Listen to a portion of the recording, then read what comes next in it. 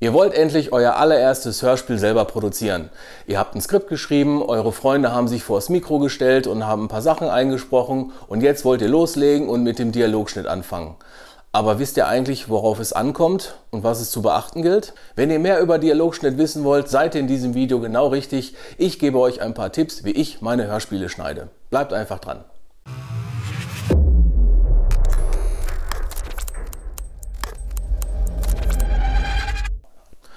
Glück auf und willkommen zu einem neuen Video. In diesem Workshop möchte ich euch ein bisschen was über den Dialogschnitt erzählen. Und zwar würde ich ganz gerne den ähm, Workshop aufteilen in zwei Teile auch in zwei Videos. Das bedeutet, in dem ersten Video erzähle ich euch so ein bisschen was über die Vorbereitung. Ähm, ich erzähle euch auch ein bisschen was über Audacity, wie man da die einzelnen äh, Audio-Takes exportieren kann und dann auch zum Schluss, wie man das Projekt vorbereitet, das heißt, welche Projekteinstellungen ihr überhaupt machen müsst. Im zweiten Teil würde ich euch dann erklären, wie man genau den Dialogschnitt macht. Dazu gebe ich euch so ein paar Tipps, wie ich ähm, mein Projekt zum Beispiel arrangiere, wie ich die Sprecherspuren anlege und so weiter weiter. Und das zeige ich euch, wie gesagt, im zweiten Teil. Jetzt aber äh, geht es erstmal um den ersten Teil. Bevor wir aber loslegen, möchte ich noch kurz erwähnen, mit diesem Video richte ich mich in erster Linie an absolute Einsteiger, die noch überhaupt keine Erfahrung mit der Hörspielproduktion haben. Ich würde sagen, legen wir einfach los. Im ersten Schritt ähm, müsst ihr die Sprechertakes einmal organisieren, ihr müsst die sammeln. Das heißt, ihr bekommt jetzt von ganz vielen Sprechern eure Takes und ihr müsst die jetzt für euer Projekt organisieren. Ähm, in einem anderen Workshop hatte ich ja schon mal empfohlen, dass es sinnvoll wäre, wenn ihr in dem Skript jeden Sprecher-Take auch einer Nummer zuweist. Das bedeutet, der ähm, erste Take wäre zum Beispiel Take 001. Der nächste Take wäre 002 und so weiter. Das hat den Vorteil, dass ihr die einzelnen Takes einfach direkt identifizieren könnt. Wenn ihr einen Retake braucht, könnt ihr einfach sagen, hör mal, ich brauche den Take 0055 nochmal neu. Dann könnt ihr im Skript einfach nachgucken und da steht dann drin, ach, das ist der spezielle ähm, Clip. Es hat aber noch einen weiteren Vorteil. Ihr könnt beim Schneiden einfach auch so die Reihenfolge schon festlegen. Das heißt, ihr, wenn ihr den Sprecher Take 1 habt, folgt natürlich Sprecher Take 2. Und so könnt ihr euch in eurem Projekt die einzelnen Takes schon mal zurechtlegen. Meistens ist es so, dass die Sprecher euch eine Spur schicken bzw. ein Audiofile, in dem alle Clips enthalten sind. Ihr müsst also hingehen, euch die entsprechenden Clips raussuchen, die in, in Stücke zerschneiden und exportieren. Und genau da habe ich schon euren ersten Tipp. Und zwar benutze ich dafür immer ganz gerne Audacity. In Audacity habt ihr die Möglichkeit, ein, äh, eine Sprecherspur in ganz viele Einzelteile äh, zu zerlegen und ihr könnt auch gleich die Benennung richtig machen und ihr könnt auch in einem Schritt alle exportieren. Und wie das genau funktioniert, das zeige ich euch jetzt. Bevor ich euch Audacity erkläre, möchte ich euch einmal ganz kurz zeigen, wie ich meine Projekte auf meiner Festplatte vorher organisiere, welche Ordnerstrukturen ich benutze, damit ich mich in dem Projekt relativ schnell und zügig zurechtfinde. Ihr seht schon hier, ich habe eine ganze Reihe Ordner angelegt. Da haben wir einen Skriptordner, den Sprechertake-Ordner, Cover-Ordner, Foto und so weiter und natürlich hier auch den Cubase-Projekte-Ordner. Da habe ich alle meine Cubase-Projekte drin gesammelt, inklusive der Audio-Files. Die Originalsprecher-Takes, die ich bekommen habe, sammle ich hier und ihr seht schon, ich habe hier für jeden Sprecher einen einzelnen Ordner angelegt. Darin befinden sich die Originale und darin befinden sich auch die Dateien, die ich mit Audacity äh, exportiert habe. Wir gucken uns gleich die Aufnahme von Marco an und ich zeige euch mal, wie das hier später im Projekt aussieht. Ihr seht hier, also das hier sind die Audacity-Files, also die Projekte, die ich gespeichert habe.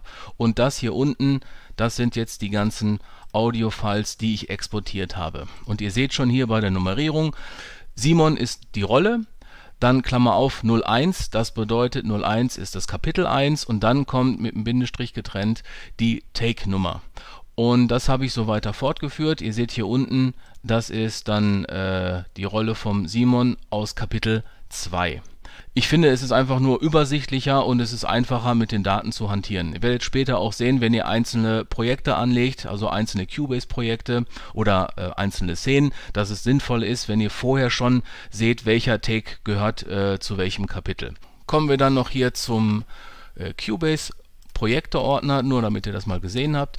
Ihr seht, auch hier habe ich wieder Ordner angelegt. Jede Szene hat seinen eigenen Ordner. Gucken wir mal rein. Das hier sind die ähm, Cubase-Projekte, ähm, das ist das Cubase-File und hier, das sind die Ordner, die Cubase direkt anlädt. Und hier in dem Ordner sind zum Beispiel alle Audio-Files, die ich in dem Cubase-Projekt verwendet habe. Aber dazu später mehr. Was ich euch hiermit eigentlich nur zeigen möchte, ist, dass es wichtig ist oder dass es sinnvoll ist, dass ihr eine vernünftige Ordnerstruktur habt, in der ihr euch wirklich sehr schnell zurechtfindet. Kommen wir aber zu Audacity.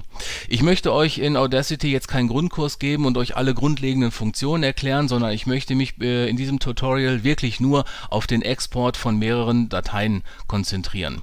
Zuallererst kontrollieren wir einmal, ähm, in was für einem Format liegt äh, das Audiofile vor.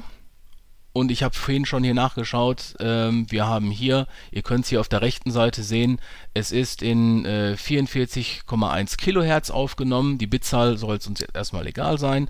Und genau das müssen wir auch jetzt erstmal in Audacity einstellen. Und zwar die Einstellung seht ihr hier unten. Ähm, da haben wir jetzt mehrere Möglichkeiten. Es ist schon richtig voreingestellt. Es kann natürlich auch sein, dass die Aufnahmen, die ihr bekommt, zum Beispiel in 48.000 Kilohertz vorliegen. Dann müsst ihr natürlich hier 48.000 äh, Kilohertz aussuchen, äh, 48.000 Hertz aussuchen. Genau. Wir bleiben aber bei 44,1 Kilohertz. So. Ziehen wir einfach mal das Audiofile hier rein und gucken, was passiert. Es öffnet sich eine Dialogbox. Und zwar können wir hier unten auswählen, in welche Importmethode wir wählen möchten. Da gibt es zum einen Dateien vor der Bearbeitung kopieren oder Dateien direkt aus dem Original lesen. Ich benutze immer die erste Variante, weil es bedeutet, er legt quasi eine Kopie an, die wir dann verändern und das Original auf der Festplatte wird davon nicht betroffen. Deswegen würde ich euch auch empfehlen, nehmt immer die erste Variante, Dateien vor der Bearbeitung kopieren. Drücken wir mal auf OK. Jetzt seht ihr hier die Aufnahme, die der Marco mir zur Verfügung gestellt hat. Ich mache mal einmal die Ansicht ein bisschen größer, damit wir da auch was sehen. Hier auch noch ein bisschen größer. Der erste Schritt, den wir machen, ist, wir müssen eine Textspur erstellen. Das machen wir wie folgt. Wir gehen hier oben auf Spuren, neu hinzufügen, Textspuren. So. Hier seht ihr, haben wir eine Textspur hinzugefügt. Der nächste Schritt ist, dass wir jetzt eine Textmarke erstellen und die benennen wir so, wie wir es im Skript äh, gemacht haben, äh, wie ich euch das gerade gezeigt habe. Wir gehen einfach hier hin, wählen die entsprechende, äh, die entsprechende Stelle aus, gehen dann auf Bearbeiten, Textmarken, Textmarke bei Auswahl hinzufügen. Merkt euch der Einfachheit halber Ctrl B, das ist der Shortcut dafür. Damit könnt ihr immer eine Textmarke erstellen. Klicken wir einmal an.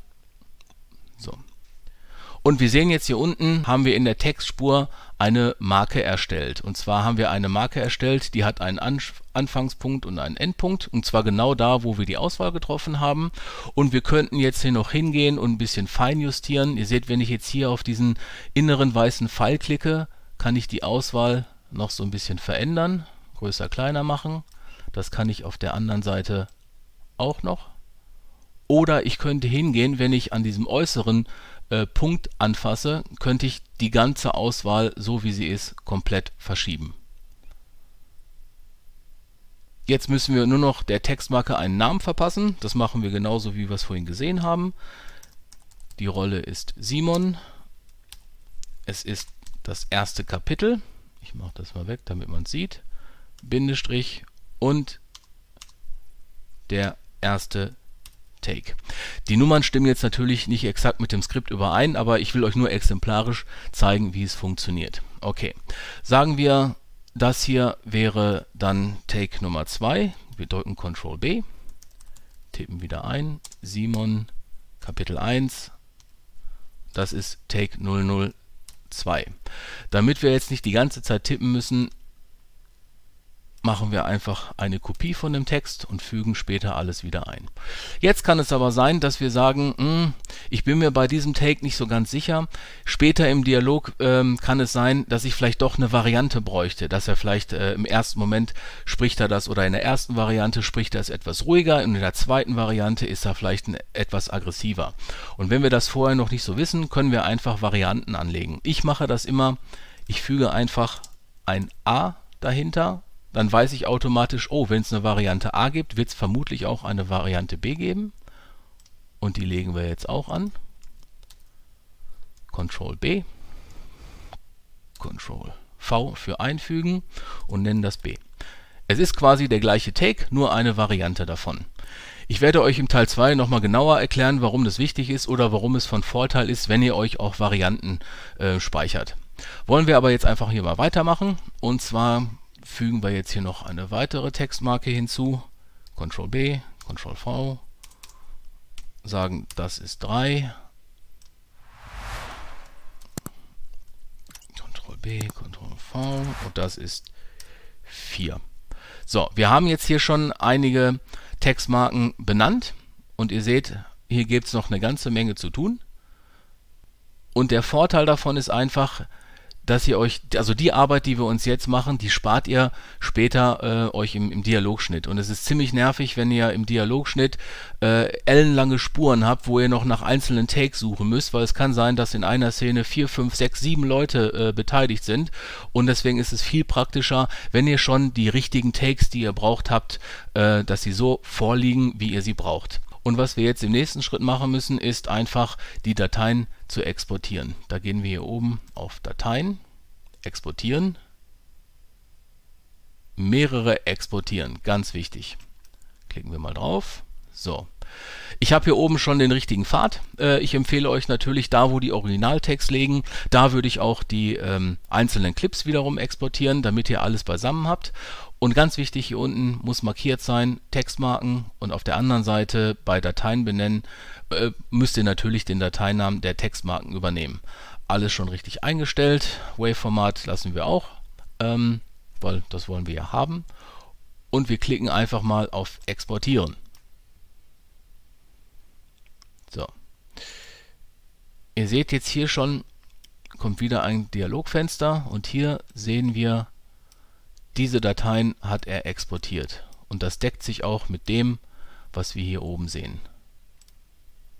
Gehen wir nochmal hier auf der rechten Seite zu unserem Ordner und hier liegen auch die Original Audio-Files, so wie wir sie exportiert haben und genauso wie wir das brauchen. Kommen wir zu Schritt 2, die Projekteinstellung. Hier ist natürlich abhängig davon, mit welchem Programm ihr arbeitet. Ich selber arbeite hier mit Cubase Elements äh, 9.5 und da kann ich euch einfach mal zeigen, wie ich bei meinen Hörspielen die Projekteinstellung vornehme. Das sind erstmal ganz allgemeine Einstellungen und ähm, dann zeige ich euch nochmal, wie ich quasi den Dialogschnitt vorbereite, bevor ich mit dem Schneiden auch wirklich anfange. Also dranbleiben. Der Einfachheit halber habe ich jetzt einmal hier einen Ordner erstellt auf meinem Desktop, der da heißt Cubase Dialogschnitt und da sage ich Cubase später, da soll er bitte alle projektbezogenen Daten abspeichern. Öffnen wir also einmal Cubase.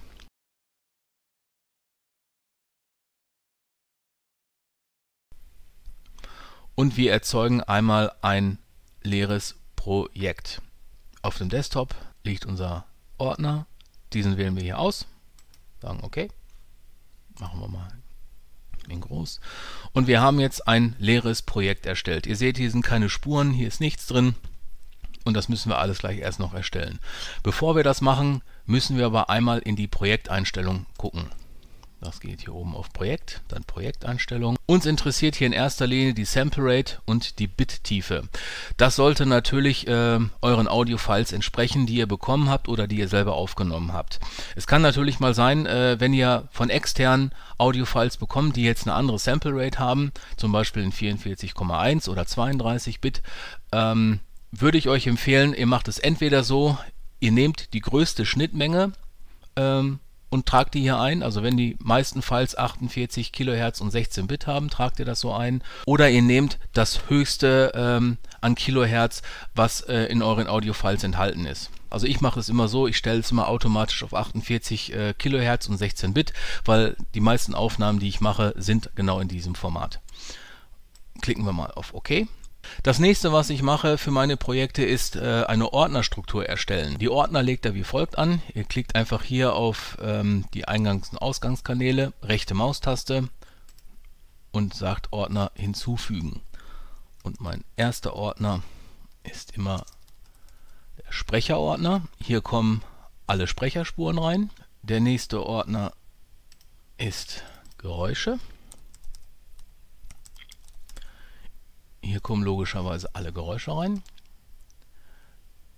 Dann gibt es noch den Ordner Atmo für Atmosphäre. Hier würden, wenn ihr zum Beispiel eine Outdoor-Szene habt, würden Sachen reinkommen wie Vogelgezwitscher, Menschen sind im Hintergrund, Verkehr ist im Hintergrund, Wind und so weiter. Also alles, was so die Atmosphäre so ein bisschen anreichert, das würde ich dann hier rein tun. Als letztes gibt es dann noch den Ordner Raumhall. Und hier würden alle Effektspuren reinkommen, die ihr mit einem Raumhall verseht. Damit das Ganze sich optisch auch noch ein bisschen abhebt, ähm, verpasse ich denen jetzt hier allen noch eine Farbe. Ihr geht dann hier oben auf den Inspektor, auf Geräusche und hier neben seht ihr so einen kleinen Pfeil. Da müsst ihr einfach nur drüber gehen und dann öffnet sich das automatisch hier. Und bei mir ist es immer, Geräusche sind in so einem Blau, Farbe 10. Die Atmo ist immer so lila, das ist die Nummer 13 und Raumhall, damit es auffällig ist, bekommt bei mir die Farbe Rot. Dann fehlen natürlich jetzt noch unsere Sprecher. Wenn wir bei Motorum Kibos bleiben würden, würde ich jetzt sagen, es gibt eine Szene, da sind jetzt unsere Protagonisten und dann müsste ich dafür jetzt natürlich auch die Audiospuren anlegen. Auch wieder rechte Maustaste, Spur hinzufügen und hier kann ich jetzt sagen, das also kann ich jetzt den Spurnamen eingeben und ich sage, das ist die Spur für Jan und könnte jetzt hier noch eingeben, je nachdem wie die Sprache aufgenommen wurde, entweder als Mono oder als Stereo, muss ich das hier natürlich auch eintragen. Ähm, ich selber nehme natürlich auch in Mono auf, deswegen meistens ist es so, dass die äh, Kondensatormikros in Mono aufnehmen, deswegen bin ich hier mit Mono alles, äh, deswegen hätte ich gesagt, Mono ist okay.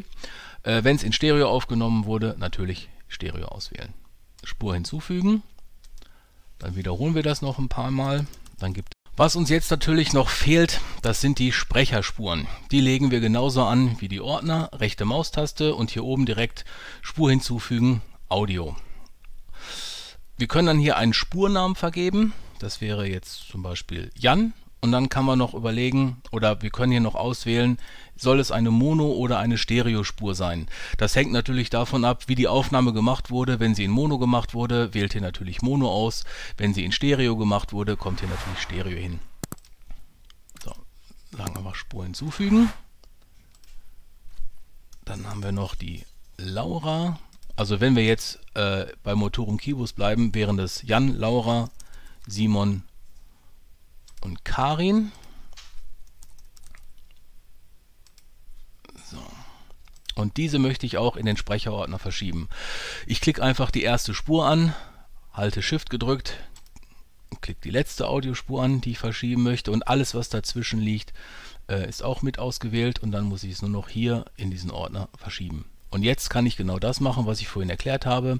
Ich kann die Ordner auf und zuklappen und damit verschwinden auch die Audiospuren. Das bedeutet, wenn ihr euch vorstellt, wie gesagt, 48 Spuren kann ich hier laden. Ähm, das kann sehr unübersichtlich sein und wenn ich dann eben nur die Sprecher bearbeiten möchte, könnte ich so Geräusche, Atmo, Raum halt zum Beispiel einfach ausblenden oder ich könnte halt die Sprecher ausblenden und nur die Geräusche anzeigen lassen. Es hat also einfach was mit Übersicht zu tun und ähm, das finde ich bei Projekten immer sehr wichtig. Okay. Dann fehlt eigentlich nur noch, dass wir auch die Sprecher optisch so ein bisschen abheben, indem wir denen eine Farbe verpassen. Ich sage jetzt mal hier orange, das gelb, dann noch ein grün und die Karin bekommt hier ein schönes Pink. Der letzte Schritt wäre jetzt einfach nur noch zu sagen, wir müssten das Projekt speichern. Das heißt, wir gehen hier oben auf Datei, sagen Speichern unter, suchen uns den richtigen Pfad aus, also da, wo wir das Projekt hinspeichern wollen, speichern und damit wäre auch die Vorbereitung erst einmal abgeschlossen. Und alles weitere würde ich euch dann im Dialogschnitt im Teil 2 erklären. Das war der erste Teil von dem Workshop Dialogschnitt. Ich hoffe, es hat euch gefallen und ich konnte so einige Fragen beantworten und euch auch vielleicht die Angst nehmen, endlich mit so einem Hörspielprojekt anzufangen. Weil ich weiß, am Anfang ist das echt eine Menge Holz, es kommen viele Fragen auf und genau dafür mache ich ja diesen Workshop. Wenn es euch gefallen hat, fände ich es klasse, wenn ihr mir einfach ein Like da lasst ähm, und natürlich meinen Kanal abonniert, damit ihr keine Videos verpasst oder auch meine Hörspiele. Und falls noch Fragen sind, stellt mir die einfach in die Kommentare. Ich beantworte eure Fragen wie immer sehr gerne. Dann bleibt mir noch zu sagen, ich wünsche euch viel Spaß, hört Hörspiele und wir sehen uns im zweiten Teil. Ciao.